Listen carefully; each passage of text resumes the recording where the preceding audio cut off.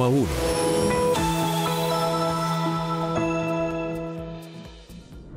Hola, bienvenidos a Uno a Uno. Yo soy Ramiro Avendaño. Hoy nos acompaña David Luna, senador de Cambio Radical, exministro TIC y responsable de muchos temas importantes del Estado durante los últimos años. Bienvenido, David. Ramiro, muchas gracias por esta invitación, muy honrado. Gracias, David. David, como sabes, eh, uno a uno eh, busca conocer a las personas detrás de los personajes. Tus posiciones políticas, tu forma sensata de ver la vida, tu preparación académica y la forma como presentas los problemas es ampliamente conocida por los colombianos y creo que te has ganado eh, a punta de trabajo un, papel muy relevante en la economía y en la, en la política y en el acontecer nacional. Pero muchos de los que nos están viendo no saben quién es David Luna. ¿Por qué no nos cuentas un poquito de quién es el individuo detrás de este apasionado político, eh, hoy senador de la República? Bueno, Ramiro, primero muchas gracias por esa introducción. Muy honrado de estar acá. Segundo, pues yo soy eh, casado con Laura, soy papá de dos hijos, de Julieta y de Alejandro. Eh, soy bogotano, tengo 48 años y comencé mi vida pública desde el primer escalón de la democracia.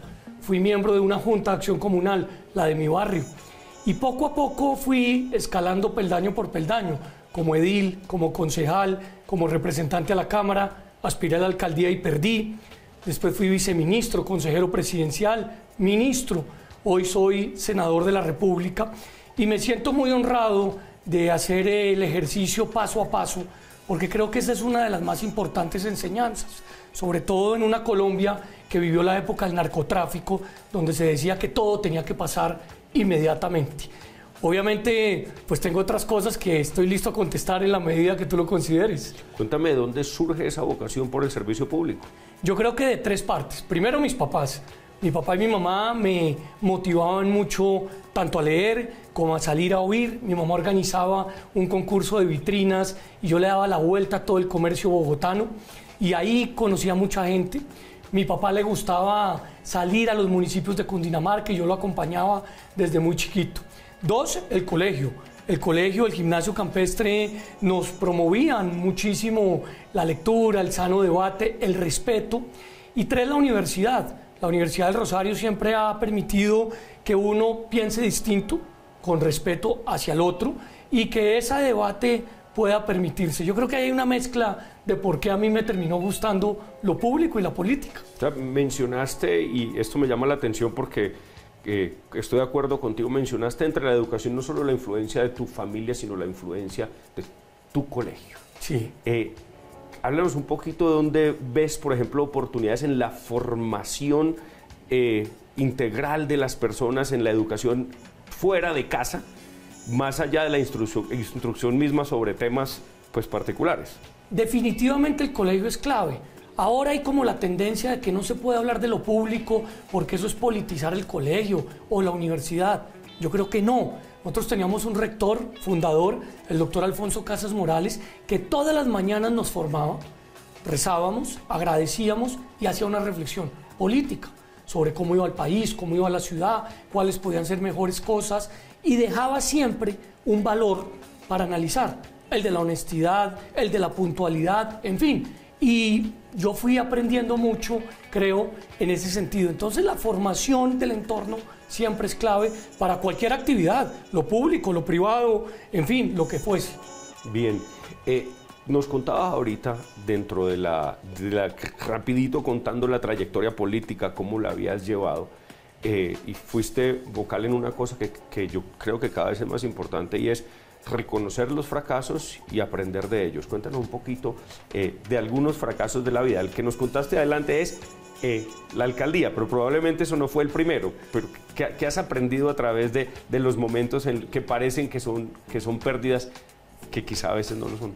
Bueno, en política perder es muy importante, porque cuando tú pierdes entiendes que no necesariamente tienes la razón y eso tiene mucho que ver con el ego.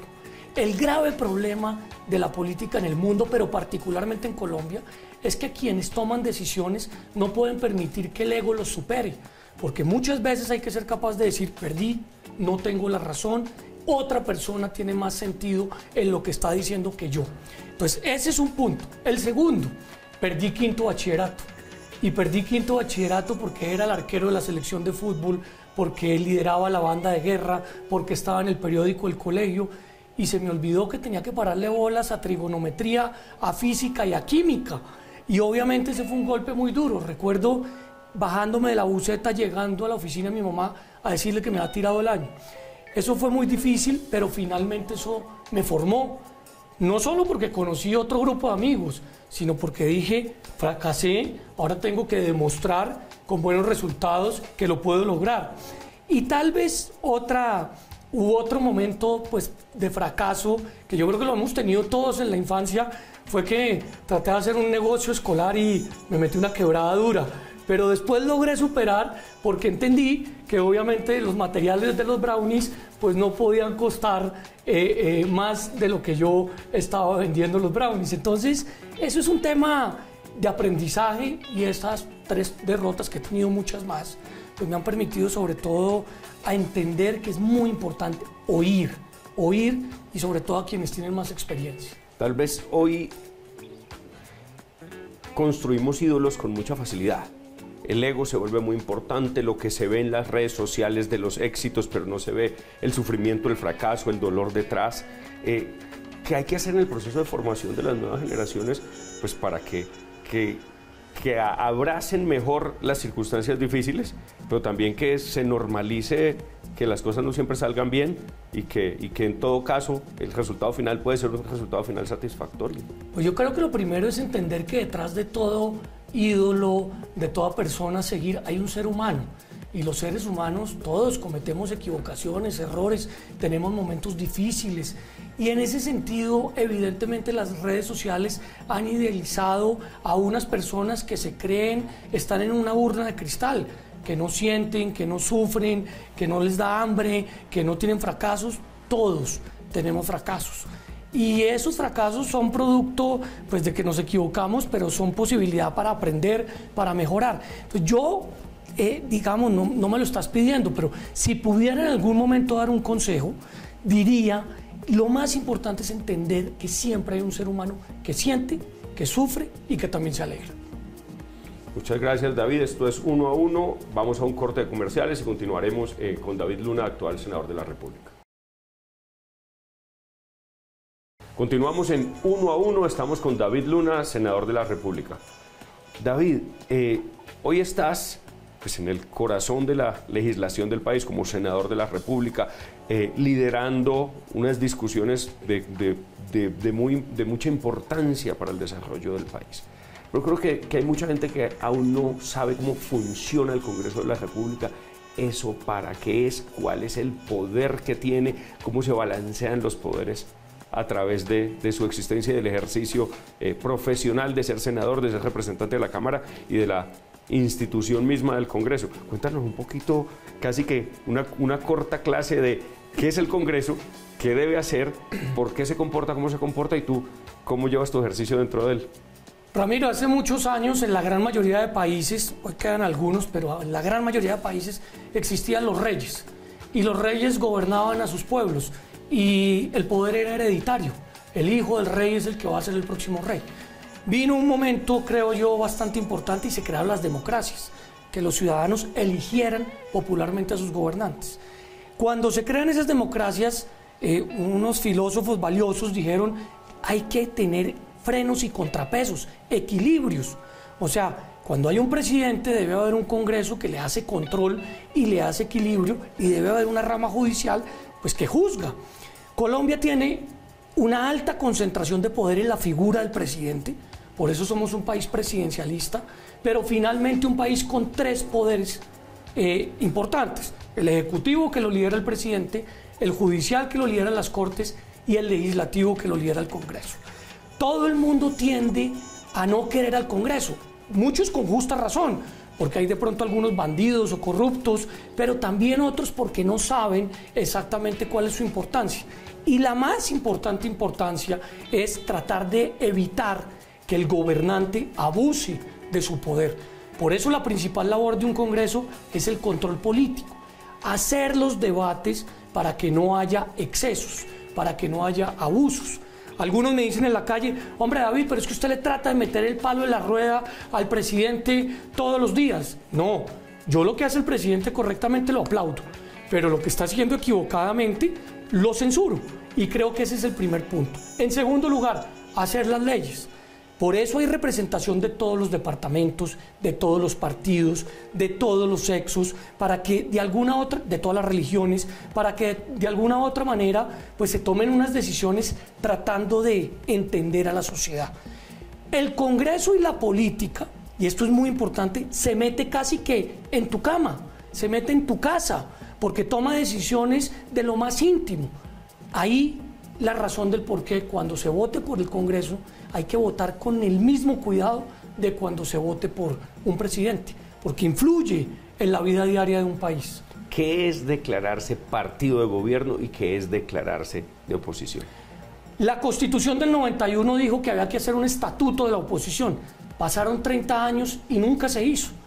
Solamente se hizo cuando se sentaron a la mesa el gobierno y las FARC. Ahí dijeron hay que hacer un estatuto se tramitó ese estatuto. ¿Qué es hoy partido de gobierno u oposición? Partido de gobierno es el que acompaña al presidente en todas sus decisiones. Partido de oposición es quienes decimos no estamos de acuerdo con algunas. No necesariamente hay que estar en contra de todo. Yo por eso digo, hay cosas positivas que aplaudo, pero hay otras que censuro. Es el equilibrio que haya la posibilidad de que no todos estén de acuerdo con quien gobierna para que se alerte, para que se corrija, para que se evite. Y así es como se debe hacer. Tú mencionaste una palabra al principio que creo es parte fundamental de mi estructura, la sensatez. Acá no se trata del que más grite, del que más insulte, del que más eh, golpee, todo lo contrario. Se trata de poder decir, oiga, ¿sabe qué? Acertó y lo felicito. Así usted y yo pensemos distinto o estemos en otros partidos. Pero cuando te equivocas o cuando estás por equivocarte, ten en cuenta que yo te estoy haciendo una alerta, una alerta para evitarlo. Los famosos pupitrazos del Congreso no irían justo en contra de el espíritu mismo del Congreso. Total. El pupitrazo es la práctica más eh, tal vez repudiable del Congreso, porque es cuando faltan pocos días, pues se aprueba todas las carreras. No, hay que tomar decisiones con evidencia y sobre todo con juicio. Yo soy de la teoría que si no hay tiempo para discutir, pues entonces que se discuta después, pero nunca que se aprueben las carreras. Lo otro que no le gusta a la gente es que dicen que el Congreso tiene muchas vacaciones. Tomamos la decisión el año pasado de reducir el receso legislativo. Yo me comprometí en eso en campaña y lo logramos. ¿Por qué? Porque cuando hay más Congreso, hay más participación ciudadana, hay más discusión y yo creo que eso es sano. Hay algunos, digamos, todo el tiempo hay leyes en discusión, proyectos de mucha importancia, como ahora hay unos rodando, pero hay unos que siempre terminan no sucediendo, que son los que tienen que ver con el asunto de judicialización oportuna y, sociedad, y, seguridad pública. Es decir, pareciera que muchos de los males que se, ya se volvieron endémicos de Colombia provienen de que lo, cuando la gente hace mal no sea apropiadamente castigada para dar el ejemplo que, que, eh, convenza a los demás o que de, no comportarse así. porque siempre se, se aplaza este asunto tan, tan crítico? Usted ha dado en el punto, Ramiro. Yo creo que el grave problema de la inseguridad que estamos viviendo, por ejemplo, en estos días en Bogotá, con todos estos atracos, se llama la no sanción a la reincidencia. Acá capturan un delincuente, entran al computador y el tipo ha delinquido siete u ocho veces en los últimos seis meses. Y no pasa absolutamente nada. Vuelven y lo dejan libre, que dice que porque lo que se robó es muy barato. No, yo creo que la justicia tiene que dar ejemplo. El que comete un delito debe pagar una sanción por ese delito. Claro, tiene que tener una función resocializadora, tratar de sacarlo, darle oportunidades, pero la sanción tiene que ser efectiva. Y yo en el Congreso estoy tratando de convencer, tanto al Congreso como a las Cortes, de que la reincidencia tiene que ser sancionada. Yo tenía en la cabeza hasta hace unos años que el porte ilegal de armas daba cárcel, por ejemplo. Y hoy en día parece que encuentran a la gente, no necesariamente en, flagrancia, pero con una arma ilegal y no se van a las cárceles. ¿Qué es lo que pasa en este tipo de cosas? Es que cambió la ley. ¿Qué es lo que sucede que haga que, que la gente pueda portar armas impunemente sin ningún tipo de, de, sanción real. No, no cambió la ley. Lo que pasa es que estamos invirtiendo los valores. Ahora resulta que hay unos delitos que ya no son tan importantes para la sociedad, pero finalmente son delitos, están contemplados en la ley y yo creo que bajo ninguna circunstancia esa norma permite una interpretación. Si tú robas, si tú matas, si tú secuestras, pues hay una serie de normas establecidas que se deben cumplir perentoriamente. Yo creo que eso es lo que requiere una sociedad, tener respeto hacia sus instituciones. Gracias David, estamos en uno a uno, vamos a un corte de comerciales y continuaremos con el senador Luna después de él.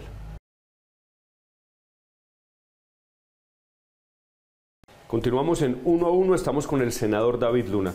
David, creemos y creo que en conjunto que la sensatez podría generar un gran cambio en la forma como opera el país. Andamos de bandazos entre eh, eh, izquierda y derecha, tratando de graduar caudillos en todos lados, soluciones mágicas, sin entender que es un país diverso, sin entender además que las, los territorios tienen el, mismo valor. Cuéntanos, cuéntanos un poco a mí y a los televidentes de uno a uno, ¿cómo ves el proceso de descentralización o de un poco de, de auto gestión regional de los presupuestos, pero también qué es lo que puede estar haciendo falta desde el punto de vista político para que tengamos un país que efectivamente funcione y no se nos quede en las discusiones a veces ideológicas y apasionadas, pero no necesariamente eh, aplicables. Sobre las discusiones apasionadas, yo creo que hay una fórmula muy sencilla. La paz no es ni de izquierda ni de derecha, la paz es un derecho. Y es un derecho que todos tenemos la posibilidad de exigir. Pero vamos a otro ejemplo, la seguridad. La seguridad no es de derecha ni de izquierda, es un derecho. Entonces yo lo que creo es que con sensatez deberíamos entender que el país, la nación, tiene unas prioridades. Tratar de que se haga la paz y tratar de que todo el mundo pueda vivir seguro y por supuesto que luchemos contra la pobreza. Eso me parece que es un punto en el que nos deberíamos poner de acuerdo todos. En segundo lugar, Ramiro, yo creo que hay que desbogotanizar Colombia. Colombia es un país supremamente centralista. A los alcaldes le toca venir a mendigar el presupuesto. Yo creo que hay que entregarles competencias a los departamentos y a los municipios para que ellos, de acuerdo a su idiosincrasia, tomen las decisiones. Así estaba contemplada la Constitución del 91 y de alguna otra manera se reversó porque se robaban la plata a las regiones. Yo creo que hoy hay una sociedad con redes sociales, con medios de comunicación regionalizados, que tiene la capacidad de denunciar y que tiene la posibilidad de actuar. Pero lo que no podemos permitir es que las regiones no progresen eh, porque dependen acá de lo que diga un técnico en el piso 17 de Planeación Nacional. Y en tercer lugar, mire, yo creo que hay un, hay un fenómeno muy complejo en Colombia que le hace mucho daño al país y se llama el espejo retrovisor todo el que llega a gobernar agarra el espejo y empieza a decir, es que el que estaba antes que yo hizo mal esto, esto, esto, esto. Puede que lo haya hecho mal, regular, bien, pero hay que echar para adelante. Hay que pensar en ver cómo construimos y cómo resolvemos. Lo que la gente quiere en la calle es que le resuelvan el problema de inseguridad. Lo que los adultos mayores quieren es que puedan recibir un mayor aporte del Estado para subsistir. Lo que los niños quieren es que haya mejor calidad en los colegios. Lo que los empleados quieren es que se les pague mejor. O sea, no son temas filosóficos, son temas de ejecutoria. Y permítame, le hablo un minuto de política. Cuando se promete un cambio, el verdadero cambio es hacer, es ejecutar, no echar discursos. Y yo creo que nos estamos quedando en la bicicleta estática de echar discursos. Hay que ejecutar, porque el año pasado, por ejemplo, fue la ejecución más baja del presupuesto. Harto esfuerzo que hace el ciudadano para pagar sus impuestos para que ver que la plata no se utilice de manera correcta. Ahí hay una clarísima apuesta a la que debemos todos jalar. Volviendo un poco al tema de la autogestión de los territorios. Eh, cuando oye uno voces en contra, siempre es pensando en que algunos territorios se quedarían desfinanciados. ¿Eso cómo se resuelve? Pues se resuelve de una manera muy fácil. Es que eh, el ejercicio presupuestal debe ser obviamente equilibrado, pero al ser equilibrado también debe ser equitativo. ¿Qué quiero decir? Una ciudad como Bogotá o un departamento como Antioquia, pues son los que más aportan en impuestos. Parte de sus recursos debe ser debe ser posible gestionarlo por parte de sus autoridades, pero también otra parte de sus recursos debe ser para los territorios donde no hay suficiente plata. Entonces, eso es muy fácil y así estaba diseñado en la Constitución del 91. Lo que queremos es que haya autonomía para ejecutar, obviamente, y obviamente que haya equidad a la hora de distribuir el presupuesto, porque los niños de La Guajira u obviamente los ciudadanos del el Cauca o del Chocó, pues necesitan más apoyo en la inversión del Estado porque han sido olvidados durante mucho tiempo. Ese equilibrio es el que se requiere. Hay una suma de todos estos temas sociales que por supuesto redundarían en el anhelo que tenemos los colombianos de vivir en paz. Pero si, si tú tuvieras la oportunidad de, de, gestionar eh, un proceso de paz, ¿cuáles serían esas ganancias tempranas, esos mangos bajitos en los que uno podría empezar a ver cambios reales? ¿Qué habría que hacer? El más importante, una lucha frontal contra el hambre. El hambre no tiene color político y yo creo que todos sabemos que necesitamos hacer un esfuerzo para donde no se está alimentando bien la familia y los niños puedan recibir apoyo del Estado. El segundo, el tema de la educación la educación tampoco puede tener color político. Necesitamos es calidad y para lograrlo, evidentemente, entendemos que se necesitan pues maestros formados con capacidades y que les den la posibilidad de estar eh, eh, reentrenándose. Y el tercer punto, el de la seguridad y el diálogo. ¿Qué quiero decir con eso? Pues que mientras que tú avanzas en un proceso de diálogo, la fuerza pública tiene que proteger a la sociedad civil. Yo creo que el país puede llegar a construir de una vez por todas una paz completa, por llamarlo de alguna manera, pero entendiendo que no se puede desproteger a la ciudadanía. Lo que está pasando en estos momentos en el Cauca no tiene perdón, o lo que está pasando en Norte de Santander no tiene perdón. La fuerza pública con las manos amarradas mientras que hay un proceso de negociación en México. No, la fuerza pública protege a la ciudadanía y paralelamente se hace un esfuerzo para resolver el problema de la guerra a través del diálogo. Parecieran soluciones de sentido común. Es que yo le voy a dar un dato. El próximo presidente de Colombia sabe qué debería ser un presidente de izquierda, de centro y de derecha al mismo tiempo. Porque nadie está en desacuerdo con que hay que luchar contra la pobreza y el hambre. Nadie está en desacuerdo con que hay que proteger nuestras instituciones, la Corte Suprema, la Corte Constitucional. Y nadie está en desacuerdo con que hay que recuperar la seguridad, la autoridad y el territorio. Hombre, dejemos a un lado esa diatriba o esa filosofía eh, política que lo que busca es likes para ponernos de acuerdo en construir un país que todos nos haga sentir cómodos.